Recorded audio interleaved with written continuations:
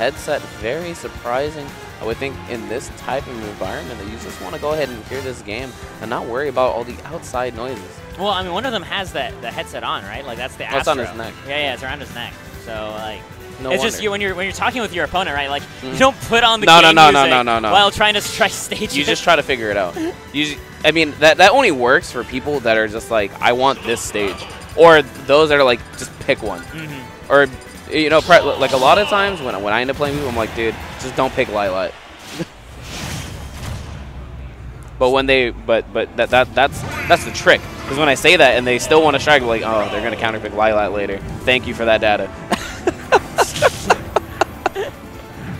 Well, have ourselves a button check to start off with. The Money Store, a uh, NorCal native as well. Um, I forgot what his old tag was. Wasn't it like Gargido or something? Or uh, am I thinking somebody else? Yeah, I couldn't tell Yeah. you, but the Money Store is going to be rocking with the Chrom right now. Just getting a quick button check.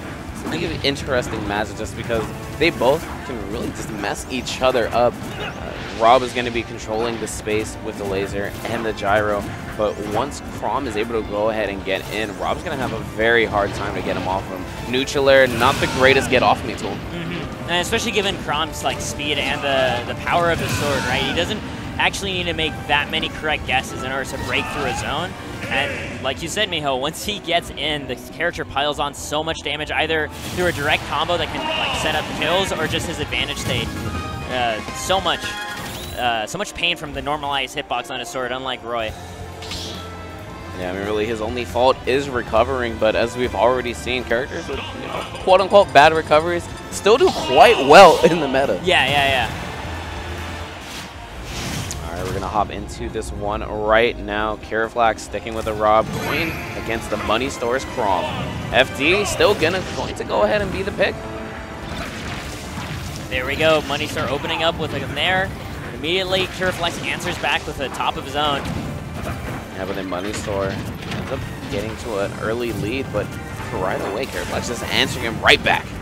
And you can already see the, the respect Kiraflax has for the block strengths that Chrom can bring to the table, right? Whenever he gets tapped on his shield by that Nair, he just rolls away. Doesn't even try to punish it. All right, air dodging to the ledge to make it back a little quicker. And here trying to find an opening possibly with the gyro, but now the money store is not giving him time and space to really just think out his options at the moment. Oh, trying to contest that falling Nair, I think. But Money Store's looking to find that follow-up off of the grab. I like this now, Kiraflax, yeah, just jumping over that, recognizing that, hey, since I'm already in the air and he didn't hit me, might as well just Nair on my way back down. Down throw, it's gonna be the mix, just an up tilt leading into the up air, taking that stock away. Great stuff from Kiraflax understanding and just knowing that the money store is gonna match for dear life to get out of that grounded state. Mm-hmm. It is a 50-50 all the berries in this game because you can either not mash and they'll mess up their uh, their early punish, or they'll they'll read you not mashing and hit you with an up smash. Yeah, up smash or even the down smash really depends where they are on the stage. That Money jab pressure. spreading all the jabs finally. Forward smash to break the shield. One more to take away the stop. That was a great observation by him because again, in the previous stock, Kiraflax answered uh, shield pressure by rolling, and Money Store took note of that and got a very strong punish for it. Side sending him right back off stage. We can get another one, possibly? No. The Money Store just air dodged him straight to that ledge. Make sure he ends up getting back onto the stage. I really like this from Flax. Threatening, going high to land down with a possible neutral air, but just retreating back to that ledge. This is gyro at my face. He's gonna go ahead and eat a laser right afterwards. The money store sitting at 129, eating that back air. Fortunately enough, it is not enough to take that stock. Gyro sending him the opposite direction as well. Yeah, because Kiraflax was facing outward when he Z-dropped it, and the Gyro, just like in the previous Smash game, sends in the direction of Rob's facing. You know what? That is exactly how Chrom's F tilt works. If it hits you the way he's facing, you know, you lose off the side too. I never knew like, this whole time, like, you know, the uh, the Falchion was just a gyro. Yeah, no, but if Crom closes his eyes, you go straight up. Ooh, the Money Store, very slick conversion right there off the neutralers, following up into the back air as well. Trying to end the stock very early with a forward smash. Why not? The air with these up airs. Kiraflax just struggling to deal with all of these disjoints at the moment. Trying to go very aggressively off stage as well. Catching the jump. Kiraflax has to really get as much momentum as he can in these uh, these ledge trapping situations, especially since he hasn't managed to hit the Money Store far enough away where he could get an edge guard on Aether. Money Store, the forward smash, finding the mark this time around, getting that neutral get up. Yeah, beautiful charge, and it would have actually caught a lot of jump options as well, which is something else that Kiraflax was using. Um, very good stuff by the Money Store. All right, so Kiraflax uh, looks like he is thinking very carefully. I would assume we get a here. character switch. We're going actually to Battlefield, so we'll see how what character he, uh, he goes to here. I can see, I can see. Rob, Rob does fairly well on this stage. Rob too. does really nicely here, Yeah. yeah. And then Pit also has a lot of sharking he Okay. can do with yeah. these platforms. So he's going to be going for the pit instead, opting over to his tried and true.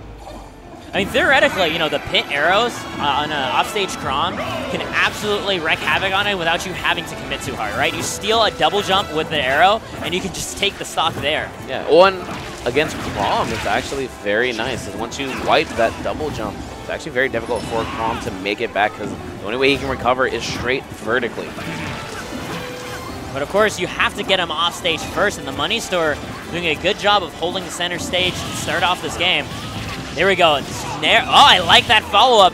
Getting the down tilt, and there we go, the nair right afterwards. dodge. Oh, he's at a jump, but using the orbiters to possibly get him on stage, it's a little bit too far to try to make it happen.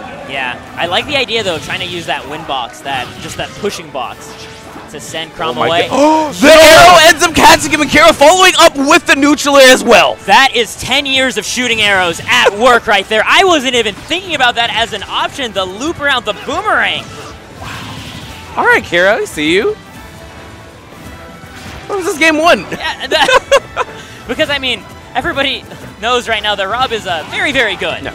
So it makes is, sense you you you use You know, it went down to the wire, but you know what? That- When you see stuff like that, you just appreciate when character loyalists know exactly how things work. And yes, that was unfortunate. to see right there. Yeah, I think uh, Money Store didn't realize his double jump was gone, and you know when you try to use it at the last moment and you don't see the ripple, you're like, oh, rip.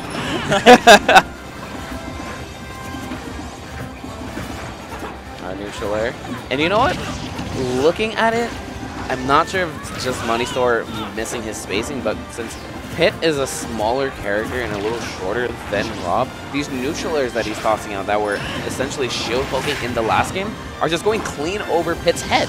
Yeah, I mean, another factor too is that Pit has a lot better uh, of a trotting game, going back and forth than Rob does. So uh, Kiraflax has that confidence to trot back and forth, just barely out of range of a lot of these sword hits and pick up whip punishes afterwards. Or, you know, find one of these parries, trying to get the punish on that double jump.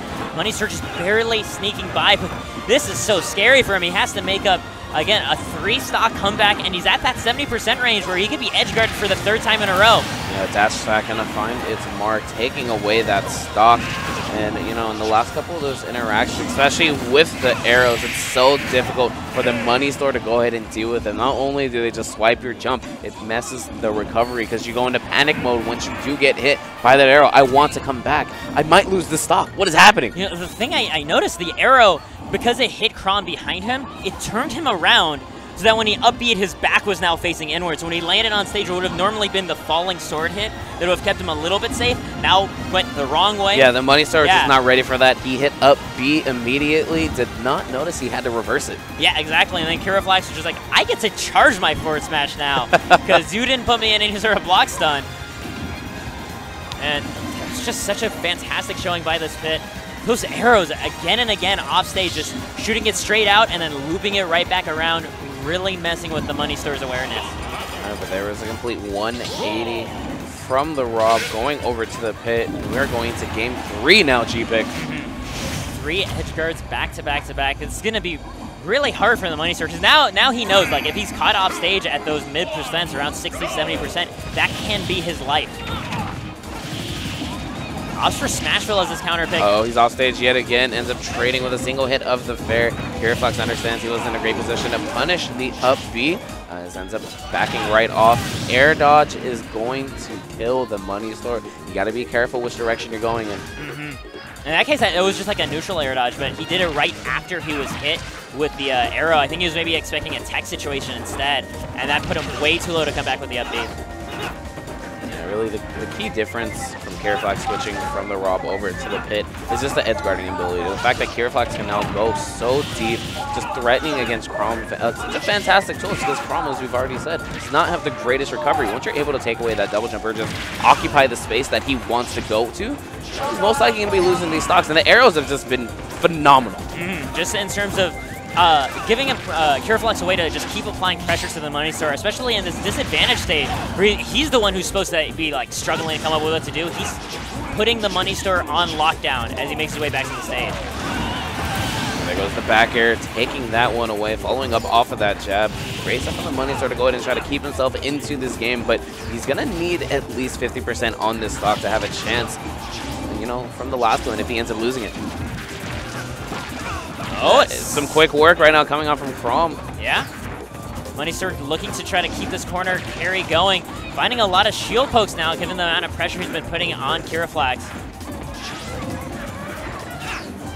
Great juke right there. Doesn't find the forward air right afterwards, though.